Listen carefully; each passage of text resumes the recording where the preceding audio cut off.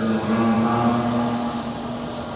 sholat berjamaah dan sedikit mendengarkan tausiah di mana tausiah itu Tuhan berguna kepada kita sekalian mudah-mudahan berguna juga untuk diri pribadi saya sendiri Salam dan salam Allah Tuhan kepada Nabi kita Junjungan Nabi besar Muhammad Sallallahu Alaihi Wasallam. Semoga rahmat dan hidayahnya tercurah atas beliau kepada para sahabat dan pengikutnya sekalian sampai kepada kita sekarang menjadi zaman.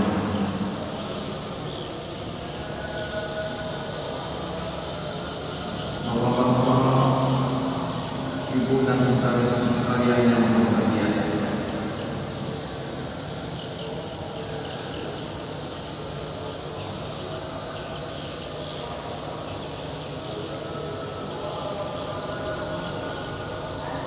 Sedikit sekedar pembukaan yang dan kita bersama bahwa puasa yang kita jalankan pada waktu ini betul-betul merasa merasa rutin dan rasanya sangat masuk. Pertama, karena panasnya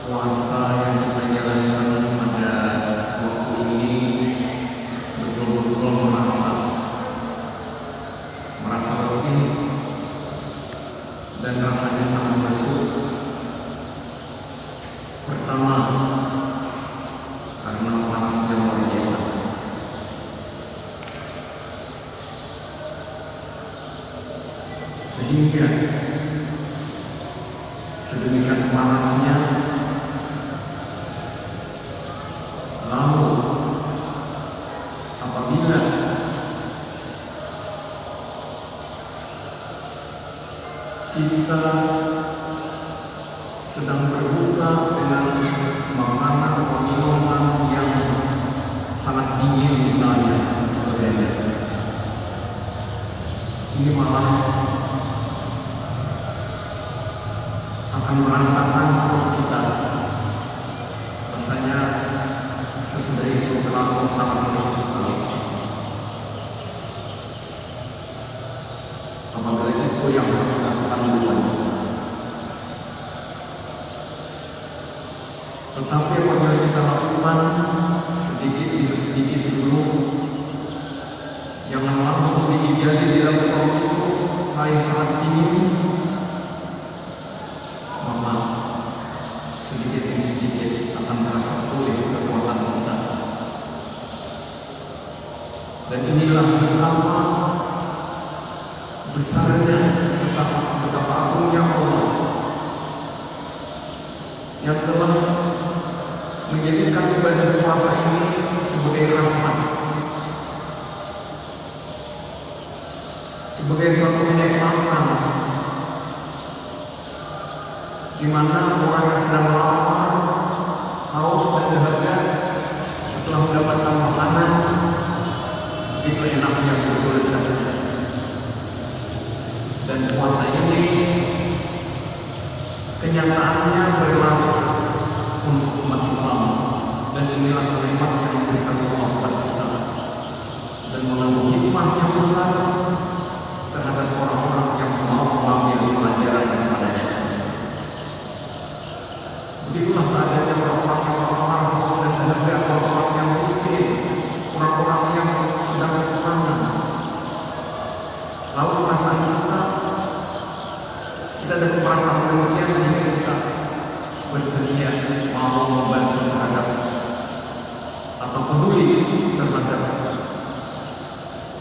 Amen.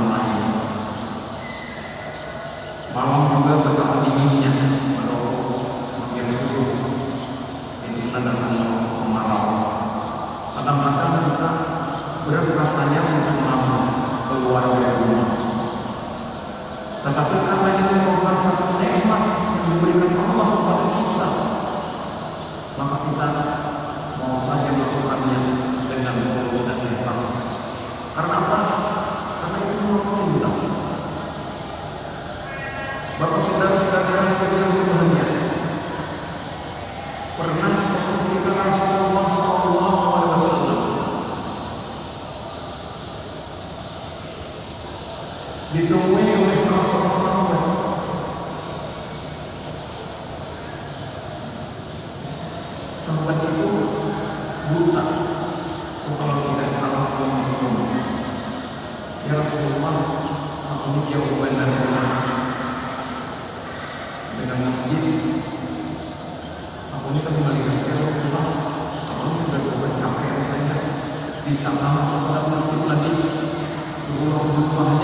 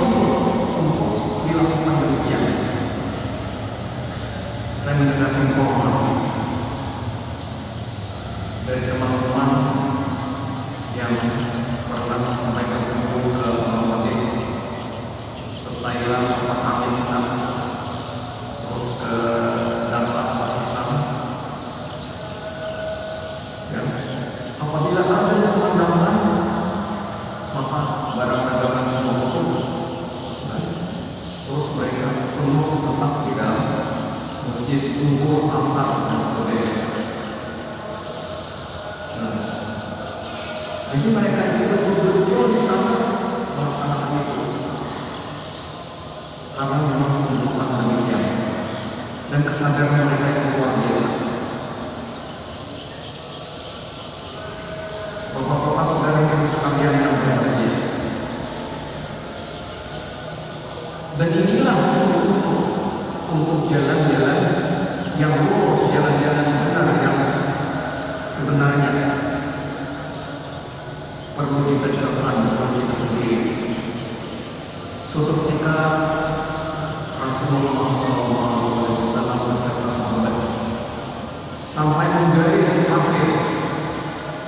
Nada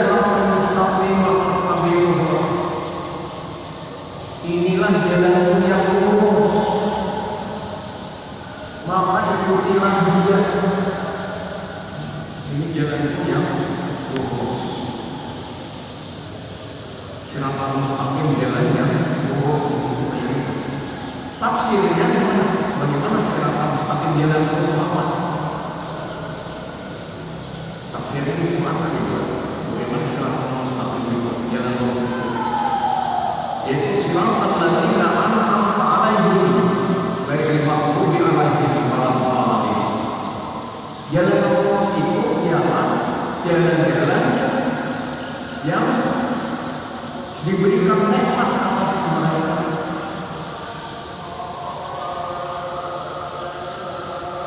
Tidak menyukai dan tidak pernah sesat. Jadi tidak harus dikatakan secara penggunaan keadaan memberikan nikmat atas mereka. Dari mampu tidak menyukai malah balik dan tidak pernah sesat. Nah,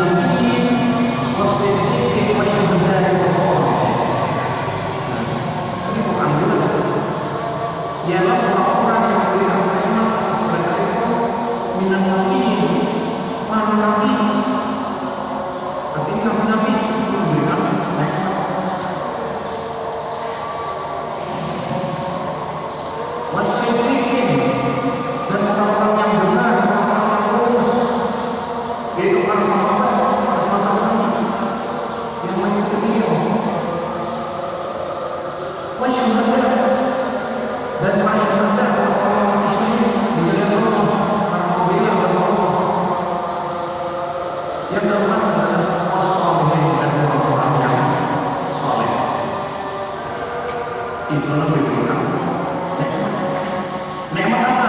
Ditanam dengan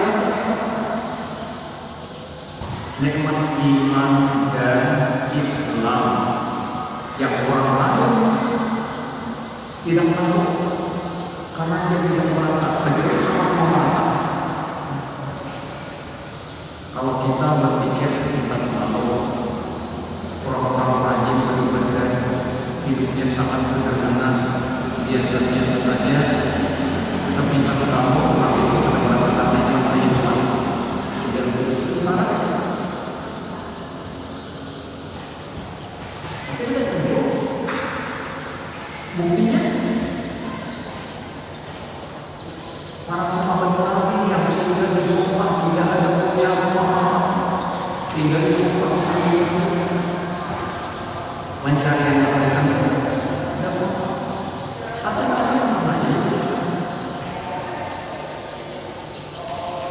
Buktinya, segala kewajiban dan sebagainya dapat ia laksanakan dengan baik.